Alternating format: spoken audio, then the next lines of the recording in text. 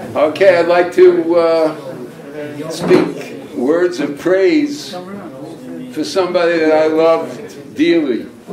In all due respect to my wife and my children and my family and my tzibor and my chabura here and all my friends, I, I say this, I thought about it often. I've met a lot of people in this world. And I've traveled around from the four corners of the earth and seen a lot of spectacular men, a lot of famous five star people. And I'm not saying this just because we're saying Divrei Shvach for my friend and our friend today. But I think that Eliyahu Law may be the greatest person I ever met. and that he was unique. He was a one of a kind, but different than a one. Was a one of a kind that was one of a kind that was number one in the universe. I got to start off with a joke, of course.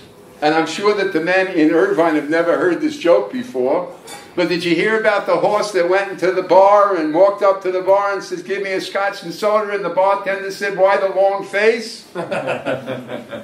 Eliyahu would be rolling, right? You never heard that, right? You see that? You're glad you came today.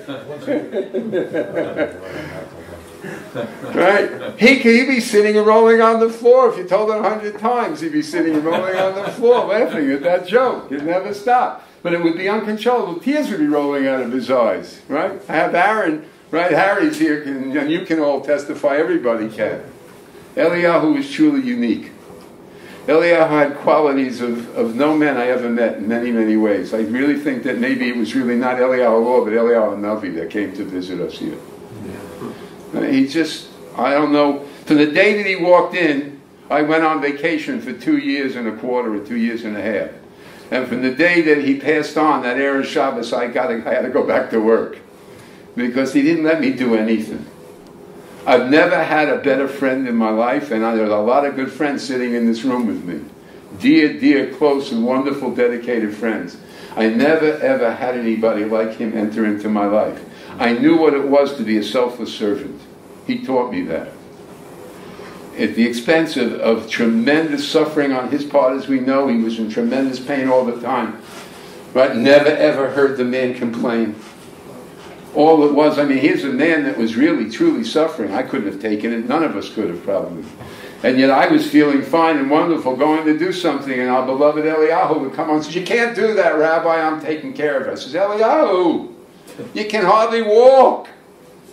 And like Rev Graham brought out, he was somebody that wouldn't, see because of principle, wouldn't go to the Arab market here to get the hardware part and walked all the way to Machne Yehuda right, to get something for a principle.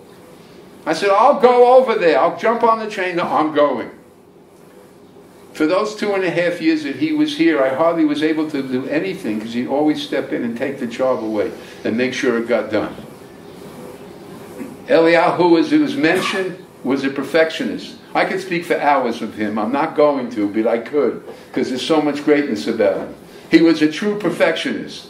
I tell with the greatest love and affection from him a story from David Chernin, who was a property manager, real estate manager here in Yerushalayim.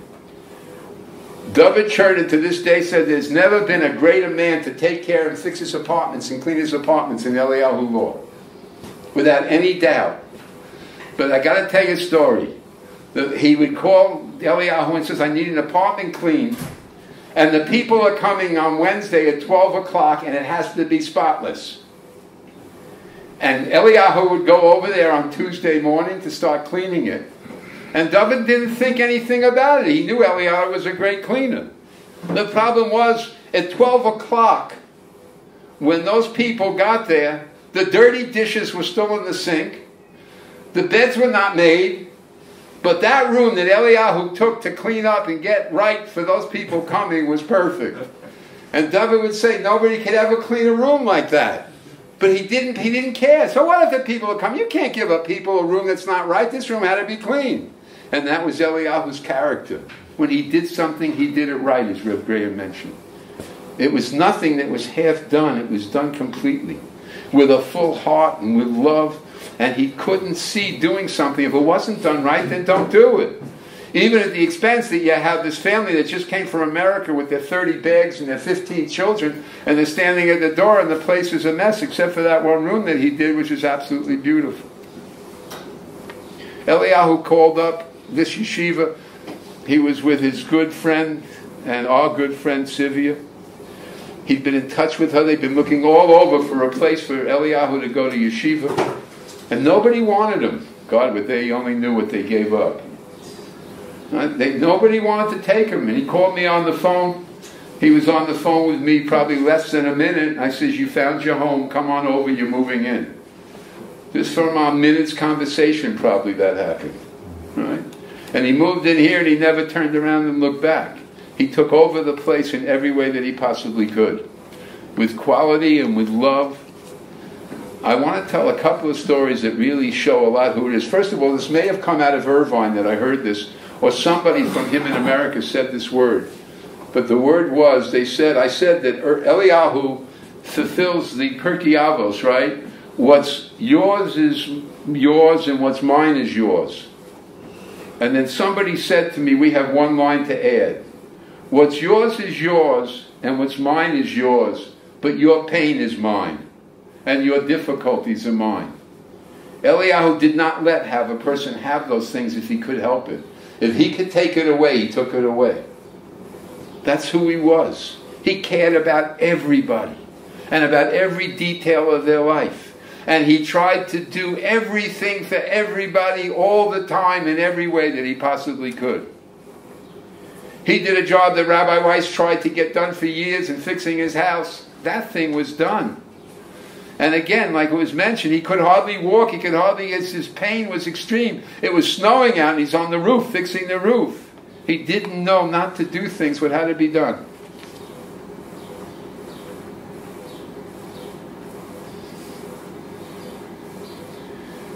This is big. Eliyahu so he, Eliyahu was a man of very strong beliefs. By the way, he was not a weak man. He believed what he believed. But he would come and I would tell him something, right? When it comes to halacha, or somebody in the yeshiva, one of the rabbis would tell him something. And he'd say, this is his words now. He says, I don't feel that's right. I don't, I don't believe that's, that's, that's just.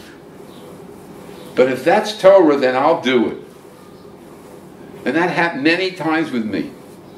When he said, I hear that. You told me that, so that's what the Mishnah Berurah says. That's what the Shulchan Aruch says. I got to do it. I'm going to do it. But I don't believe in it, I don't think it's right. But if it was the Torah, he wouldn't turn against it. He bent himself. One time we were talking, and we'll talk about this at the end in a few minutes, about what a project I'd like to suggest for to to uh, memorialize him.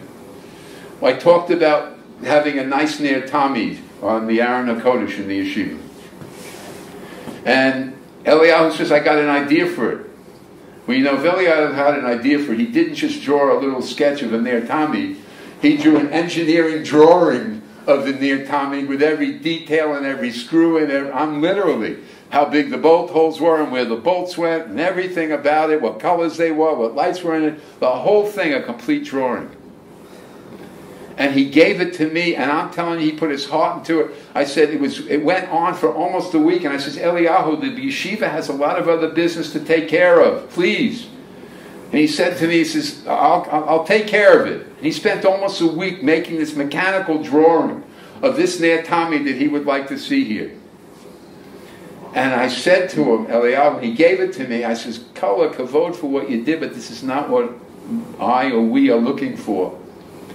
He looked at me, he says, You sure? I says, Positive. And he threw it away and he just went back to doing his work. He was able to bend at that level. If you'd done that to me, I would have been broken. I would have been crying in the corner for a week that somebody told you I did all that work and that's the way you say. He says, That's what it does. You don't think that's what the Shiva needs, Rabbi? Go, finish, next project. He was mavato to the point of he gave, he, he was literally he did everything he could to please everybody, but not in a, in, in, a negative way, in a positive way. To be a servant to everybody that I saw him with and knew him with. Right? When the money came for the yeshiva, by the way, it was mentioned that he didn't have any money. Talked about going to work. How can I go to work? If that man got a dollar, that dollar came to the yeshiva and he lived here poor. He did not have, he did not ask, and anything that he got in, no matter where it came from, immediately went to keep the yeshiva open and to keep it going and take care of the needs.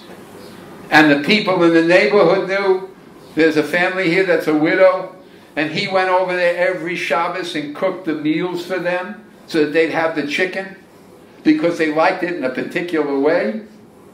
And he didn't just, there were two people, a woman and her daughter. He didn't cook for just them. They had enough food for the whole week when he got done. And he made sure he went out and got the chickens for them and cooked everything for them. At my house, when he came over and we finished eating on Friday night or Shabbos day or third meal, whenever it was, we'd all go to sleep. All the dishes were in the sink, all the dishes were on the table. And guess what? When you woke up in the morning, there wasn't a dish or a fork or a spoon in a sink or on the counter. Everything was put away where it belonged. And I get up at 2 o'clock in the morning or 3 o'clock in the morning to go daven at the Netz Minyan. Eliyahu was finishing off, drying the things off and putting them away. And then he'd go home and sleep. Until the last days when he was in tremendous pain and we got the expanders for his leg to help his circulation, I don't remember Eliyahu getting into bed. I come in in the morning and there's Eliyahu in the office, leaning back in our office chairs that we have here for the executives, snoring away. I said, when are you going to sleep? Two, three days he'd be up in a row. And then he'd fall asleep in the chair. I never wasn't his roommate, but I, I didn't see him go to bed very often. He wasn't in much. He never went into the bedroom. He slept in his chair. And what was he doing all night? Working on a computer program for the yeshiva, figuring something out for the yeshiva, helping somebody else that needed a helping hand. A servant, an Eved Hashem, an Eved of Klal Yisrael at an unbelievable level. Unequal. I learned more from that man than any rabbi ever learned from, or anybody probably. In terms of midos tovos and derech eretz for people, a peacemaker, there were people I could, I had problems sometimes, I couldn't talk to somebody. So just leave it to me, go talk to him. Suddenly the person would come back as a friend. Somebody was having a fight with. I don't know how he did it. He had a way with people. He had a way of understanding the ways of the world. His history and his background, we learned a little bit more tonight from his brother, from Harry, but he was, he was unique in that way, the things that he touched. So I thought I did a lot of things in my life. He, he put me to shame.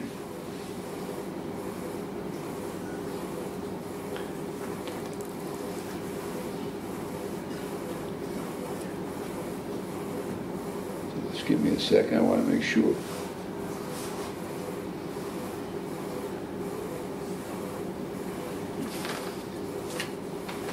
Again, the stories that we can tell, and everybody here in this room has them. I don't think I've ever seen anybody that's been has come to this yeshiva, and there have been many great men here, wonderful people. The place is a makam Torah. It's a it's a community. It it provides so much for this community with the classes and the people that are here. And as Rev Citrin mentioned, right, a couple of those last week, I think that you mentioned that says everybody comes here feels comfortable. It's a place that we we're not we don't have all these restrictions on people. You come here to learn Torah, come learn Torah. Whether it's for five minutes or five hours or five days. And when you come in, we don't care what kind of hat you're wearing. You got to be sneers. You don't care what kind of hat or pants or shoes you're wearing or what outfit you're wearing or your Rebbe is. You came here to learn Torah and be with your fellow Jews to grow closer to God. And Eliyahu is the perfect vehicle to facilitate that for everybody that came here. He judged nobody. And like was said, if he didn't like somebody, he didn't care for somebody, they never knew it. I found out once that there was somebody he couldn't stand. And I had never seen him being nice to that. He was that nice to that person all the time. I had no hint. He said, I don't like that guy. Not that he didn't love him. He loved him. Like, Ronnie, I'm sorry, I don't want to say your name in public.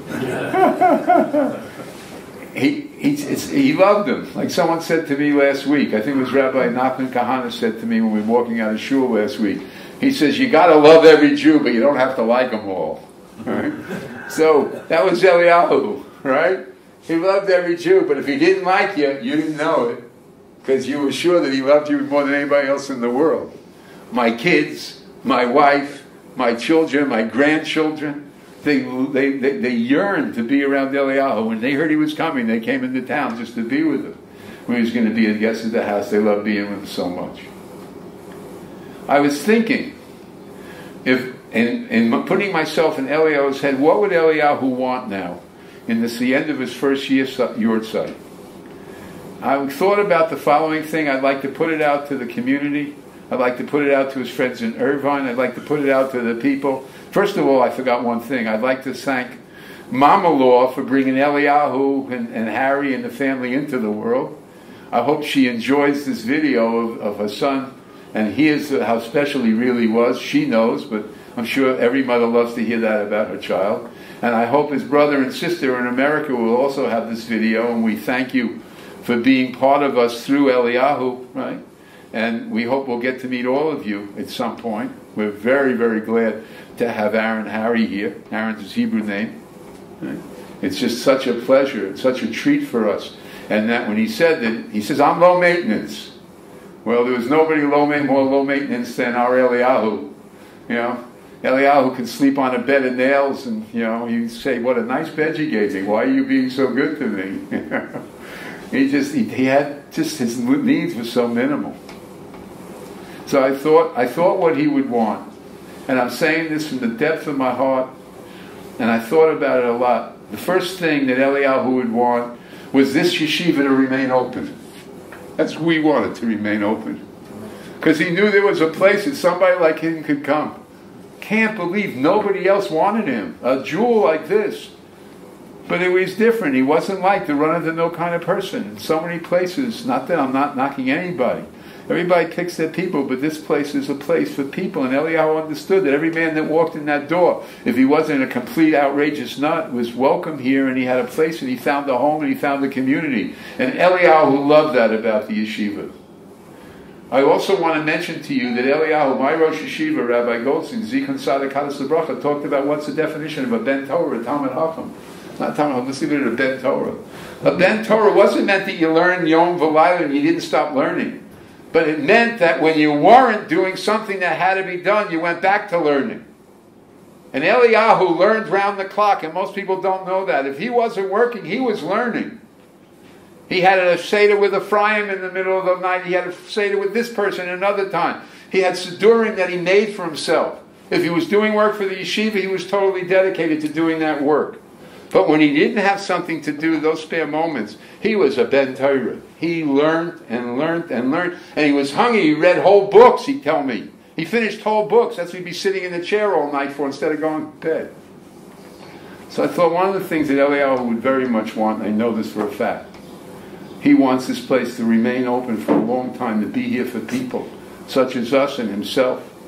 Anybody. We're not selective. As long as a person's Jewish and has a desire to learn, we specialize and we started off starting for, as we call the mature and motivated. But that's not our boundary. Our boundaries are Jews that are looking to study Torah, looking for a place they feel comfortable and they're accepted, and they don't have all these boundaries. You got to do this and you got to do that. All you got to do is come here and learn and not be too distracting, and you're welcome. He would want that. The second thing I think he would say is, I don't want any attention. I don't want any recognition. There I'm going to disagree with Eliyahu Law. And I'd like to suggest the following that as a community here and in Irvine and all his friends in the world, I'd like to say we're setting up now, as the yeshiva, right, a separate fund and account, right, to keep track of trying to create a memorial for Eliyahu Law, Eliyahu Zalman Law, with three things. One, to create a fund that will be able to create and have built in his memory an Aron HaKodesh for our, right now we have the Sifrei Torah in a safe. We want to build the proper Aron HaKodesh around the safe. Number one. And that Aron HaKodesh represents what Eliyahu represented, the Ten Commandments, the written law, the, the, the Torah Shebichtav That was Eliyahu. Number two, the Parochus which weaves in and out. What's the word? It's, it waves in and out. It goes in and out. That's the oral law. It's oscillating. It's moving. It's changing. It's adaptable. That was Eliyahu. We'd like to dedicate an, the, the, the Kabarokas for the Aron HaKodesh, the written law, by draping it and surrounding it as it is now protected by the oral law and defined by the oral law. That was Eliyahu. And finally, the Ner Tamid that he designed, right, that we talked about, to find the proper and dedicated Ner that gives cover to that man, to his shining and eternal light of Torah. And I remember I told this to Eliyahu, we talked about it when I was a kid. I was very, very alienated from being Jewish right after my bar mitzvah. And I didn't like the shul that I went to, and I didn't get involved, and I left. And I was very angry until I was 38 years old, and I came back and started working it out. But I told them one thing, I tell everybody that when I walked into that huge synagogue, which seated 3,000 people on the holidays in the five towns in New York, it was dark in the whole building. There wasn't a light anywhere. And when I opened the door of that Beis Knesset, of that huge auditorium, there was one thing that always struck me. That was the Ner Tamid was burning. It was the only light in the building. But it shone the light of Torah, and it always made me feel good that I could go up there and see that lamp burning. And I'd like to dedicate as the third part of the of the triad for Eliyahu that we have a proper uh, Ner Tamid hung over the Aron Hakodesh, which we will build, and the Parochas that we will build, and have a Ner Tamid which will be the light of Eliyahu. Hopefully, it will continue to shine in our lives and illuminate us and inspire us, his memory, to inspire us, right? To follow in his midos and in his ways that he lived and he acted and he treated the people around him. Bein Adam Mechavero, the love of a man for his fellow man, Eliyahu, was the epitome of how to do that. He wasn't perfect, but he worked on himself and it showed. And this room of people and the room of people in Irvine and across the planet that he touched is incredible and unbelievable. And we would like to perpetuate that memory. And in part of that, part of Eliyahu's dream also, is to perpetuate the Shiva. So I'm making an offer right now. We're setting up an account to raise $36,000 to dedicate the Aron HaKodesh, the Parochas, and the Ner Tamid in Eliyahu's memory. And part of that money will be for about, come out to be when we're done, about one month's worth of expenses in the yeshiva that Eliyahu will be raising from the world above, right, to make sure that we stay open for one month. We want to stay open forever, we hope, as long as God wills it. But to do that, to split that, whatever money's raised, right, to create those three things and help the yeshiva to stay open and pay its expenses so that we can be here for other people like you and me and Eliyahu. Everybody who loved them, remembers them, cherishes them. This opportunity to think what we're doing right now. We're on opposite sides of the globe, and we're sharing this experience. We made a siyum together. How many miles? Irvine is 9,000 miles from here. And we made a siyum together, and we said Kaddish together. And we thought and we remembered a man that was beyond great. He was a paradigm of what a human being should be. It was unfortunate he suffered so much, but I never, ever heard that man complain. Literally, he never said anything hurt. He never said why. He just went about doing what God willed him to do and accepted it with a smile. He had his problems, as has been talked about, and everybody goes through that. But in the long run, it was a man that's an inspiration that we should never forget, should always remember him, right? For this place, for sure, he's one of the fathers, for sure one of the great granddaddies of Yeshiva Rebbe Akiva because he gave us so much. And again, I hope that we will be able soon, when Reb Sina comes, that we be able to get together and find a way to make an achdus, a connection between Eliyahu's two families. We've made it with his blood family from both sides, with his two families of his spirituality in Irvine, California, and in Yerushalayim, Ir HaKodesh, to bring us together to share many, many years together in Torah mitzvahs and Tovim. And this day, the Yahrzeit of Eliyahu Zalman ben Yisachar Halevi, his neshama should flow free into the world of Abraham, Yitzhak, and Yaakov, and David, and Shlomo, and the greats, where he's sitting with them, learning Torah Yom V'Laila, and shining the light and watching over us from the worlds above. May his memory be blessed eternally. May we never forget him. And thank you, everybody, for everything for today and for the whole year that we've been involved in memorializing him. We should only see Hatzlacha and Bracha. And thank you for coming today. And may Eliyahu be honored and glorified in the world. Shalom Aleichem. Amen. Thank you. We'll be in touch and we'll see you soon. God bless you. Thank you for sending us this way. Sending us. Thank you, everybody.